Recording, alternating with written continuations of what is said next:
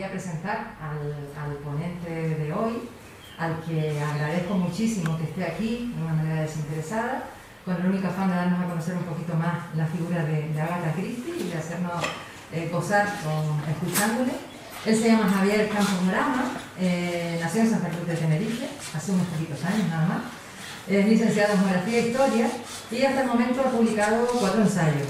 La iglesia de Lucas en la estela del gótico catalán en el año 1999, el imaginero José de Armas Medina en el año 2009, la parroquia de Tafira 1847-1957 en el año 2014 y Manuel Campos Padrón 1875-1950, notas para una biografía publicada en el año 2015. Pero además, en el año 2017 eh, publicó un trabajo donde se mezcla la novela con el ensayo histórico que se titula precisamente Crimen en el Confital vaya Agatha Christie. Y en el 2018 la novela de intriga Dr. Joyce Kipling. Además, eh, el autor ha escrito numerosos artículos y impartido conferencias de arte, historia y literatura. A ver, cuando quieras te cedemos la palabra. Muchas gracias.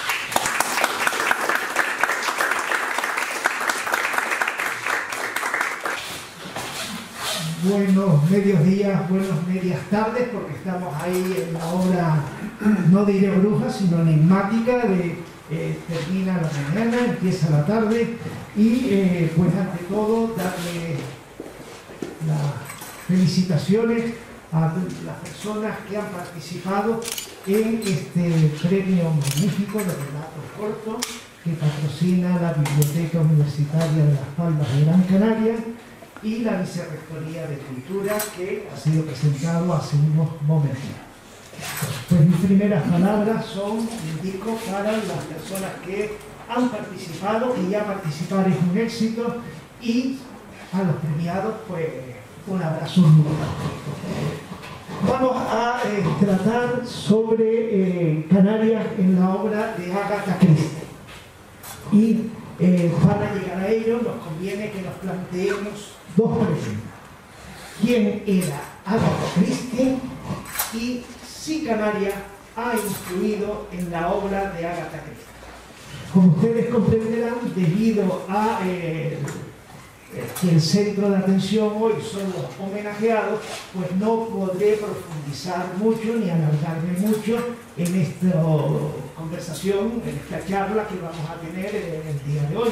Por lo tanto, de una manera somera, vamos a hablar de Agatha porque lo primero que tenemos que hacer es conocer a la novelista, conocer a la protagonista de, eh, de las novelas que vamos a hablar ahora, que también Agatha Christie utilizó mucho el relato corto para eh, como placer de escribir y por lo tanto es un incentivo a todos los que hoy han participado, y no solo hoy, sino los eh, exposiciones o en los concursos anteriores, pues que pueden llegar a ser Ágata y Ágotos Christie si fuera necesario. Bueno, pues mm, es más que conocido que Agatha Christie nació en Torquín, condado de Devon, en 1890 y pertenecía a una familia rica con tintes o con pinceladas aristocráticas. Su padre, Frederick, Miller, porque recordemos que el apellido de soltera era Miller. Y en los países anglosajones, cuando eh, una mujer se casa, pierde el apellido familiar y adquiere el apellido de su matrimonio. Y lo debemos de tener en cuenta en el caso de Agatha Christie. Bien, pues Agatha Christie, su padre Frederick, era anglo-norteamericano, de familia evidentemente inglesa, pero inglesa de una o dos generaciones eh, anteriores a su nacimiento, que fue en Norteamérica. Incluso el hermano mayor de Agatha Christie nacerá en Norteamérica. Era un hombre rico, una persona que definiríamos como un bon vivant, pero a mí me parece un tanto inútil como consecuencias que veremos más adelante. La madre, Larissa Wenner, nació en Belfast, en Irlanda del Norte, y tal vez de ella convenga destacar, porque de alguna manera va a influir en la obra de Agatha Christie, ese sentido que tenía ella especial para la parapsicología o para los eh, fenómenos paranormales. Agatha, como creo que acabo de decir, tenía un hermano mayor, una hermana mayor, y ambos bastante distantes en edad de la propia Ágata. Otro elemento, otra situación que le va a influir para ella, eh, pues ser una, un adolescente un poco solitario, por lo tanto, esto le hará posible desarrollar mucho su capacidad de fantasía y de pensamiento. Bien, pues la muerte del señor Miller y la emancipación de los hermanos mayores hace que Agatha, esa adolescencia de la que acabo de hablar, pues sea bastante soledosa, pero a la vez bastante pendiente de su madre, que tenía, insisto, una personalidad un poco extravagante, inusual. Agatha tiene, como toda joven de buena familia rica, pues eh, no tiene más misión que prepararse para el matrimonio. Algo que le va a condicionar bastante porque cuando llega este apuesto galán que es eh, Archibald Christie, que se casa en 1914, en vísperas de la Primera Guerra Mundial, y tal vez influenciado por los acontecimientos, pues le va a condicionar mucho su vida. Y ya por último, recordar, haciendo un salto enorme, de que Agatha Christie fallece en 1976 en la propiedad de Winterbrook. En cuanto a su preparación como futura escritora, pues miren, fue educada en su casa, Yashville, aquí tenemos el caserón, que actualmente desafortunadamente no existe, y eh, pues se educó como la mayoría de aquellas niñas victorianas en casa con tutores supervisados por sus padres y esto mm, pues vuelve a insistir en su cierto eh, soledad. Estuvo momentáneamente, no llegaron a ser dos años, en la escuela de señoritas para, insisto, prepararse para el matrimonio que era el objetivo fundamental. Conviene recordar que Agatha Christie era, eh, en, su, en la educación que tuvo, tenía debilidad, o lo más que le gustaba, era la aritmética, números, y eh, la lectura. Como llegó a adquirir un nivel de francés muy elevado, pues leía a los eh, escritores franceses, especialmente a su adorado Julio Verne, en el idioma original. Y en cuanto a su relación con el mundo literario cultural, pues dependía mucho de la tutora o tutor que tuviera en ese momento que le hacía participar en las actividades culturales de la zona de Devon donde ella vivía. Una pregunta importante que ya hemos planteado. ¿Ha influido Canarias en Agatha Christie? ¿Ha influido en la obra?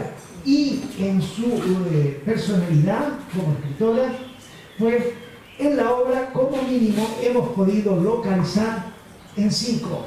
Pero miren la notita de menor tamaño que pongo aquí. Yo no he sido capaz de leer los 257 trabajos firmados por Agatha Christie. Luego, estas cinco novelas o cinco trabajos o cinco producciones de Agatha Christie pudiera ser que los futuros investigadores, a los cuales ya desde este momento reto, a que busquen las posibilidades de si hay más obras de Agatha Christie en las que aparezca Canarias de una manera explícita o de una manera discreta. De cualquier manera, para poder llegar a esto, al resultado de esta investigación, tenemos que tener y tenemos que hablar mucho del contexto, de tal manera que a veces el contexto en, esta pequeña charla conversación de hoy nos va a absorber la, eh, la obra en sí. Bueno, la primera obra se titula El hombre del traje marrón.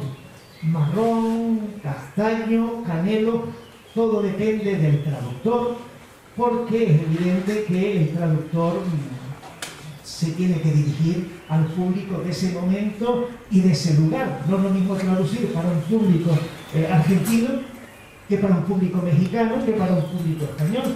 A veces las palabras cambian. Pero lo que nos interesa es Brunswick. Bueno, pues el contexto nos dice que Agatha Christie en 1920, como esposa de Archibald Christie, va a formar parte de una comisión cuyo objetivo era impulsar la lealtad de las colonias británicas a su emperador. Pues recordemos que cuando termina la Primera Guerra Mundial, las eh, teorías eh, que propone Wilson, el presidente de Estados Unidos, es darle independencia a las colonias. El imperio, el gobierno británico quiere saberlo y organiza una comisión que va a eh, visitar las colonias más importantes británicas de África, de Asia y Oceanía, que en este caso sería Australia. En este barco, magnífico para aquel entonces, el Clinton Castle, Agatha Christie mm, va en esa comisión y cuando el barco pasa por las Islas Canarias, pues se quedan asombrados ante el Teide. Es verdad que ella hace referencia al gran pico de Tenerife, y así lo pone ella en su diario y en la carta que le pondrá a su, que le pone a su madre, que en la primera palabra se expedirá para Inglaterra. ¿Qué nos dice o cómo está reflejada Canarias ahí? Pues bueno, este es lo que eh, Agatha Christie escribió en la novela. Se ve el gran pico del Teide, vean que ya ha ido afinando, ha ido perfeccionando el lugar al cual se dirige, cubierto de nieve desde el otro lado. ¿Sí? ¿Cree que podré fotografiarlo? Todos nos dirigimos al otro lado del barco por aquel lado se alzaba el rutilante pináculo, blanco, nevado, envuelto en delicada y rosácea neblina. Exhalé un grito de admiración y deleite. La señora Blair corrió en busca de su máquina fotográfica. Y lo de la máquina fotográfica es fundamental. Agatha Christie era amante de la fotografía le gustaba mucho y afortunadamente en la eh, interesante y magnífica exposición que se ha hecho tal día para hoy aquí en esta sede de la universidad, en esta biblioteca, pues tenemos una exposición, indico, muy bonita, muy elegante, con tres eh, novedades magníficas, tres fotos que se han enviado desde la Fundación Agatha Christie, el nieto de la escritora, nos ha eh, regalado, prestado, ya saben ustedes cómo es eso, tres fotografías, de las cuales, eh, pues posiblemente alguna de ellas hecha con Agatha Christie. Pero es importante que tengamos la memoria que en estas novelas de las que voy a hacer mención, todas tienen tinte autobiográfico. La segunda novela es La señorita de compañía, que como sabemos es un relato dentro de Miss Marple y 13 problemas. Aquí el contexto es muy eh, extenso. ¿Por qué? Porque en 1926 Agatha Christie tiene eh, dos sensaciones terriblemente opuestas. Una es un cierto éxito, que es el asesinato, eh, su novela, el asesinato de Roger Ackroyd, en la cual ya ella empieza a ser oída en eh, la crítica británica, pero desgraciadamente le vienen los inconvenientes tales como es la muerte de su madre, a la que dijimos que estaba muy ligada, y algo horroroso como es que Archibald le pide el divorcio. Esto para Agatha va a ser terrible. Y en el siguiente libro que hablaré, insistiré en ello. ¿Eh? ¿Por qué? Pues aparte de perder a su marido en unas condiciones de divorcio en Inglaterra en aquella época era denigrante para la mujer, porque se le acusaba de haber fracasado en sus relaciones eh, sexuales, en sus relaciones familiares y en sus relaciones sociales. Y cuando se iba al divorcio, se iba a un tribunal en que las personas que la conocían, que conocían el matrimonio, pues deponían y hablaban y contaban eh, chismes y anécdotas como en algún programa de televisión que eh, actualmente podemos ver nosotros. ¿no? Pues bien, pero es que además de todo eso, se destapa el matrimonio Christie había estado viviendo muy por encima de sus posibilidades económicas. Y en el divorcio se consideraba que era una sociedad casi comercial, había sentencia y cada cual por su parte. no había ni compensaciones, ni compensación por su hija, ni cosas semejantes. Pero es que además Agatha Christie va a descubrir que su madre también ha vivido muy por encima de sus posibilidades. Luego no hay eh, dinero para organizarse en los años inmediatos. ¿Qué se le ocurre? Pues se le ocurre pedir un adelanto económico a la editorial, ya que había escrito siete libros y el último, El asesinato de Roger Ackroyd, había tenido una cierta fama, pues pide ese adelanto para escribir un siguiente libro que será El misterio del tren azul. Pero por mucho que ella quiere, hay algo que no le permite adelantar. Hay una bruma que no le permite ordenar sus ideas. Y le aconsejan que se vaya a las Islas Canarias. Las Islas Canarias en aquel entonces era un siso resort, más o menos lo que ha sido hasta días antes de la pandemia. Un sitio para ir, no solo para el eh, verano, sino para ir, para descansar, para relaciones sociales, de tal manera que eh, podemos decir que a partir de 1880-83 ya se establece de una manera sistemática la llegada del turismo a Canarias. Y nos interesa saber qué tipo de turismo. Pues eh, podemos hacer cuatro, un turismo rico, un turista millonario, que viene con sus caballos, con las novedades como el automóvil, los primeros automóviles llegan de manos de los británicos, e incluso con su servidumbre. Después viene un segundo turismo, que es el turismo forfait, aquel que viene con todo pagado y según lo que previamente ha pagado en Gran Bretaña, pues estará mejor o peor alojado, en mejor o peor hotel, más o menos días, y en ese grupo, evidentemente, en el que va a venir Agatha Christie. Después viene el turista de 15 libras, 15 pounds. Ese es el que saliendo de Gran Bretaña el barco la primera parada la hace en Las Palmas de Gran Canaria, se bajan para una pequeña excursión, casi siempre a esta zona del monte o de Tafira, probar los vinos, ver la geografía, la siguiente parada Santa Cruz de Tenerife, algo por el estilo, y la tercera parada el puerto de la Cruz. Y el mismo día, es decir, el mismo día que llegan al puerto, volver atrás en la misma dirección. Pues como ya digo, Agatha Christie evidentemente vendrá en la segunda, en el turismo con todo incluido, y viene en el mes de febrero. Tenerlo en cuenta porque después ella en un momento dado eh, cambia por el mes. Pero eso es secundario. ¿A dónde va el grupo formado por Agatha Christie?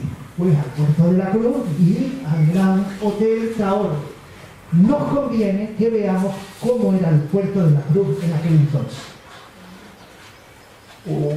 Una ciudad pequeña, cuyo centro principal, la iglesia de Nuestra Señora de la Peña de Francia, las plataneras lindan con las viviendas, con las calles, este es el tramado urbano, esta foto es muy posiblemente de esos años, uno más, uno después, pero tengamos en cuenta eso. Y es que el barco que vemos aquí era el barco eh, modelo cargo, porque eh, así se llamaba, dado que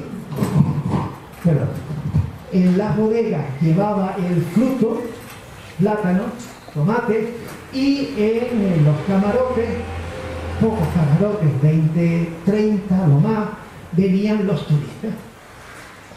Pues en ese grupo y en ese tipo de barcos viene Agatha Christie con su hija Rosalín, una niña de 7 años, eh, en agosto cumpliría los 8.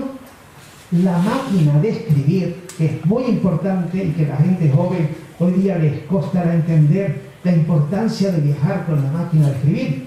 Bueno, es como viajar con el ordenador, pero es que la máquina de escribir de aquel entonces era un armatoste gigante, pesado, de hierro, con un teclado difícil de manejar, tan difícil de manejar que trae una secretaria. Y nos planteamos, una secretaria, una persona que estaba económicamente apurada. Pues sí, porque vuelvo a insistir, la máquina de escribir eh, necesitaba una persona experta, una persona que no solo tecleteara al dictado, sino que después le dedicara tiempo a mm, pasar ello a limpio, a las correcciones a limpio. Pues bueno, este grupo es el que viene.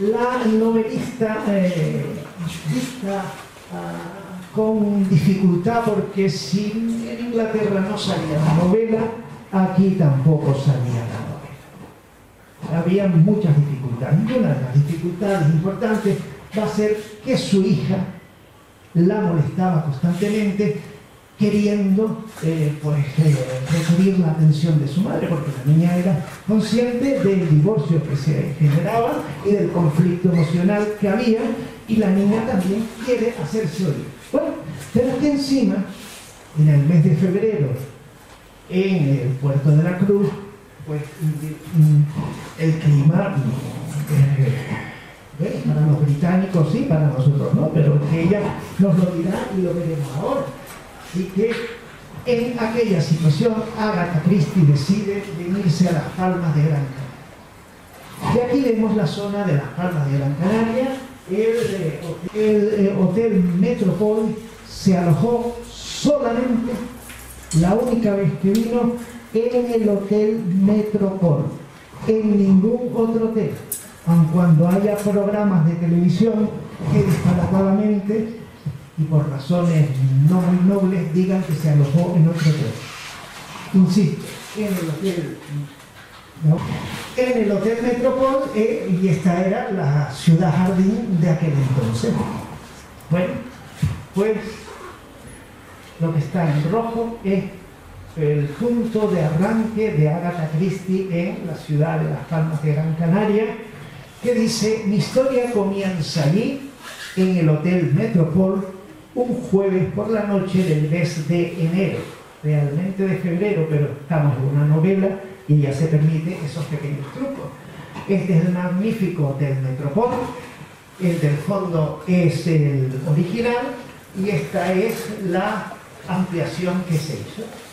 Pues Agatha Christie en sus memorias, en su autobiografía, que tiene que ser el referente de cuando hablemos de Agatha Christie, ninguna otra eh, observación o comentario o fabulación que hacen algunas personas y que nos eh, confunden, pues en esa autobiografía, escrita en el año 56 y publicada en el año 77, pues nos va a decir cómo fue su estancia en Gran Canaria.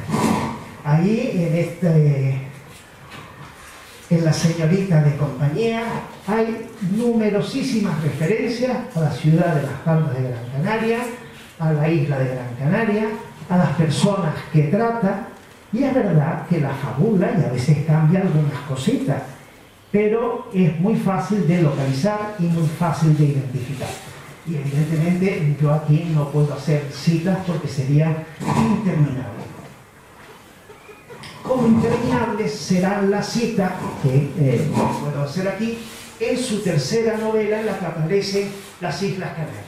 El hombre del mar también es un relato corto, vamos a decirlo así, dentro de algo superior que es el, enigmático señor Esta novela aparece en 1931. Es una novela en que está totalmente ubicada en el puerto de la Cruz y es facilísimo identificar el puerto de la Cruz. Y casi como antes, no puedo hacer tantas referencias porque eh, sería demasiado extenso. Incluso nombra la zona de La Paz, donde está la mansión Cologan y en donde está algo que a ella le fijó mucho, como es el Paseo de los Cipreses, y que en la exposición que tenemos aquí, pues hay una foto y eh, referencia a él. Bueno, pero sí nos interesa ver por qué el hombre del mar, cómo eh, tiene esa novela. Pues la novela arranca de que un buen nadador falleció en aquel tremendo mar. Miren la playa la magnífica playa del puerto de la Cruz en el momento en que estuvo Agatha Pero es que la de abajo era mi niñez y como ven, pues muy poco atractiva, una playa para gente valerosa que superara esta fina arena de forma de cantos picudos y que pudiera bañarse en el mar del norte. Y ella encima vino en el mes de febrero, cuando el mar es más. Si conviene leer lo que Agatha Christie nos ha dejado escrito en su eh, autobiografía. Orotava, con esto hace referencia a todo el valle, eh, incluido el puerto, era un lugar encantador, con la gran montaña, que lo dominaba todo, y las maravillosas flores que crecían por todas partes alrededor del hotel. Pues ya sabemos que el Gran Hotel Tauro tiene un magnífico jardín, en aquel entonces muy bien cuidado. Había dos cosas que me molestaban. La bruma, esa bruma del atardecer, o casi que empieza el mediodía en la zona del valle que no brotaba, y los baños de mar para los aficionados a nadar eran terribles. Solo lo hacían los dos o tres nadadores más fuertes de la isla. E incluso uno de ellos había ahogado el año anterior. Sobre esto que yo he subrayado, pues tengo mis dudas. Vamos a dejarlo en mis dudas y como estamos hablando pues de la dama del misterio, si es necesario se arregla después, pero de momento subrayado. Ese ahogado a mí no me entra mal. Bueno, cuarta novela, Retrato inacabado. Novela fundamental en Agatha Christie. Novela que publica en 1934 y con su seudónimo Mary Westmark. Es una autobiografía novelada. Antes de la de 1956 hay que acudir a esta. Aquí ella, indico de una forma cambiando algún lugar, algún nombre, pero muy fácil de seguir, nos cuenta toda su vida. Aquí es donde nosotros podemos leer claramente la tragedia que para ella supuso su divorcio. Y es un dico muy importante. La novela está estructurada en tres libros y cada libro con sus capítulos correspondientes. Esta novela viene casi toda la información del libro anterior, El hombre del mar. Si ya no lo, en la diapositiva anterior no lo señalé, aquí voy a poner algo. Primero, la novela empieza con un poema titulado La isla. Y el primer y último libro se titula también La isla. Porque la protagonista, con el nombre supuesto de Celia, eh, viene a este sitio, que es puerto de la Cruz, y allí eh, tropieza con una persona, con un pintor, y se cuentan su vida. Pues bien, algún rasgo para contar y seguir, eh, pues hace referencia a la, a la casa Cologan y a su um, paisaje o pasaje de los cipreses. Me dirigí presuroso a los cipreses y pronto encontré la pequeña senda que llevaba a la terraza, cortando la extensión del seco. La traducción mm, más bien, pero la persona que hace la traducción no es muy exacta. En el mismo libro primero, capítulo segundo, dice, no me, podré, eh, no me pondré a describir la pequeña aldea española, ya vieron como era el puerto de la Cruz de aquel entonces. Tal vez para ella eh, podía considerarse una aldea, pero caramba, la habitación de ella estaba en la cuarta planta del hotel. Luego, una pequeña aldea que tenga un hotel de cuatro niveles, cuatro pisos, y que el coprotagonista esté en otro hotel, pues no es tan fácil. Pero insisto, tengan cuidado con esta novela, Retrato Inacabado, no la hay en ninguna de las bibliotecas públicas del archipiélago canario y eh, hubo que pedir una copia a la Universidad de Comillas que eh, mandó una fotocopia, pero que ya está depositada en nuestras bibliotecas y lo podemos usar. Y en el mismo libro primero, pero ya en el capítulo 2, dice, eh, perdón, es lo que acabo de comentar, ¿no? Sobre el hotel y la habitación. En el libro 3, capítulo 4, dice, yo deseaba que abandonara la isla cuanto antes. Luego la protagonista Celia es una turista, que es verdad que ya queda claro, pero recalca, la autora recalca su estancia en Canarias y sin embargo ya en el barco cuando le decía yo. Por lo tanto, estos rasgos autobiográficos con lo que ya vamos recogiendo de las novelas anteriores es confirmar.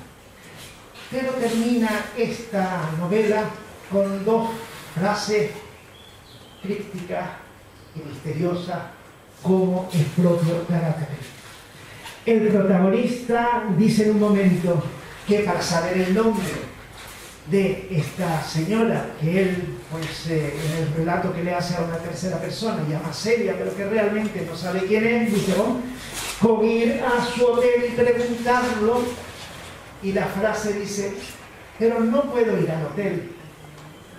Claro que no puede ir al hotel, porque el hotel donde se alojó Agatha Christie en 1927 en el puerto de la Cruz, pues miren lo que le pasó en 1929. El hotel sufrió un terrible incendio, más de la mitad del hotel se quemó y por lo tanto es muy difícil que haya, se haya conservado algún documento, puesto que la oficina del hotel ardió. Lo digo por si alguno encuentra el documento, póngase guantes, no se vaya a nada. Y el amigo de Agatha Christie, con el cual ella tiene estas conversaciones terapéuticas que le ayudan a superar el problema angustioso de su divorcio, dice, supongo que nunca más la volveré a ver. Y claro, no la podrá volver a ver porque el doctor Apolinario Macía, al cual ella conoce aquí en Gran Canaria, en el Hotel Metropol, pues desafortunadamente también fallece el mismo año, 29. El hotel y el doctor ambos desaparecen y de alguna manera es quemar las naves o quemar el pasado. Bueno, y la última novela que yo he podido, en la que yo he podido localizar Canarias en la obra, pues se titula La carga. Es una novela que escribe Agatha Christie 29 años después de haber estado en el puerto de la Cruz. La novela aparece en el año 56. Y aclaro por si hay dudas, Agatha Christie Canarias solo estuvo una vez. Y así nos lo deja escrito en su autobiografía, de la cual hemos comentado. Os lo digo por si ven en algún lugar alguna placa que diga que venía temporadas o cosas así. No, una sola vez y ella nos lo deja bien claro. No hay que fabular, no hay que hacer fakes, como se dice actualmente. Puerto de la Cruz cuando vino Agatha Christie, el famoso opinión con el templete que recoge la cruz. Miren la importancia del gran hotel Tao. Evidentemente eh, era el centro de atención de todo aquel lugar y donde ella se puede alojar, en el hotel, ya vivo en la anterior, en una cuarta. Bueno, pero sí es verdad lo que hay sin localizar el puerto de la Cruz en esta quinta novela es poquito difícil. Hay que tener experiencia, eh, porque este era el puerto de la Cruz de mi niñez. Ya había dejado de exportar eh, frutos, ya eh, los pescadores habían ocupado de nuevo la bahía, y claro, si hay experiencia y conociste el puerto de la Cruz de esta época, es más fácil llegar a las conclusiones que eh, yo indico. Pero bueno, también es verdad que existe la fotografía los propios relatos de Agatha Christie, El hombre del mar, el retrato inacabado y la relación o relaciones que hacen otros autores. Y ya para terminar esta parte, la misma, eh, una de las frases que aparece en la carta. Tal vez aquí, en la isla, podría tomarse un descanso y recapacitar sobre él y su futuro, que es realmente lo que le sucede a la Y ahora terminemos ya con la eh, cuestión que habíamos planteado desde el principio. ¿Canarias ha influido en Agatha Christie? Sí, no hay duda que su capacidad creadora y recreadora como novelista ha influido mucho y notablemente. Porque miren las preguntas que planteo. ¿Qué supone que 29 años después de haber estado una sola vez en eh, Canarias y en este caso en el puerto de la Cruz, ella lo recordara eh, tan vivamente? ¿Por qué lo recuerda? ¿Qué surge? ¿Qué permanecía en Agatha Christie en su interior para volver a sacar el tema en su último libro? Pues este es el último libro que escribe, también en este caso con el seudónimo de Mario Besmaco, pero es el último libro, la última novela que escribe, aparte de la autobiografía, que iniciará poco tiempo después. Pues mire, Aquí tenemos parte de la respuesta. Cuando Agatha Christie estuvo en el Hotel Metropol, estuvo cinco o seis días en el puerto de la Cruz y el resto de sus vacaciones o de su estancia lo hizo mm, aquí en las Palmas de Gran Canaria, alojada en el Hotel Metropol. Requiere la atención del médico porque tanto su niña, Rosalind, como ella, tienen un problema de garganta, están afectadas. Bueno, pues el médico del hotel, el doctor Bartolomé Apolinario Macías, indica que sí, que sufre una ligera faringitis, pero lo que usted sufre, señora, es una gran depresión. Y a partir de ahí, un diálogo entre eh, Agatha Christie y el doctor, eh, unas, diríamos, conversaciones terapéuticas que se pueden localizar en La señorita de compañía, en El hombre del mar, en El retrato inacabado, en La carga, en su autobiografía, podemos llegar a ellos sin especial dificultad. La pena que no se conserva ningún documento de ello, porque cuando Agatha Christie viene en el año 1927 a Canarias, pues fuera del círculo de lectores, fuera del círculo literario de determinada zona de Inglaterra, era una total desconocida, no se sabía quién era Agatha Christie, no era un personaje nada relevante. La primera novela que se traduce eh, de Agatha Christie al castellano es en 1933 y también queda en el círculo eh, literario de Barcelona, pues la traduce de Lo que a mí me parece que es mucho más importante de que se cite en este o en aquel libro es el colofón de esta pequeña charla. Si hay escritora, si hay Agatha Christie, si hay doscientas y pico obras firmadas y escritas por ella, es pues por su estancia en Canarias y por el tratamiento psicológico que eh, tuvo con el doctor Apolinario Amigas, amigos, pues con esto yo te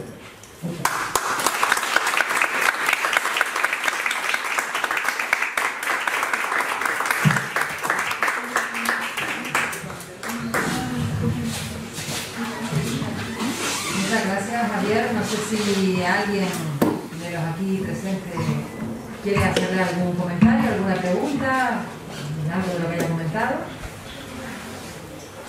Sí, una pregunta. Porque claro, yo he leído de eso, o he escuchado sobre aquel famoso episodio de amnesia que tuvo Agatha Christie, que tuvo además en, en Canarias, ¿fue? el, periodo de amnesia que tuvo fue aproximadamente una semana, pues fue debido a eh, su divorcio, a su divorcio con, con Christie Y eh, pues, insisto, es que en aquel entonces, bueno, perdona, termina la pregunta que tal vez Pensé que había sido en Canarias, pero fue antes entonces sí. de venir aquí. Fue antes de venir aquí porque, vuelvo a insistir, el, el divorcio era tan traumático, tan humillante para la mujer, porque encima la hija le decía, papá no te quiere a ti, pero me quiere a mí. Y lo que diríamos diría entró en bucle. Y si la pobre no sabía qué, eh, tomar, hasta que afortunadamente, por eso insisto, si su estancia no hubiera sido en Canarias y no llega a eh, tener eh, estas conversaciones terapéuticas, pues no leeríamos hoy y yo no podría hablar de Canarias en la obra de la familia. ¿Me pareció otra persona? No. Bien. Gracias, mi Pues nada, Javier, sí, que queríamos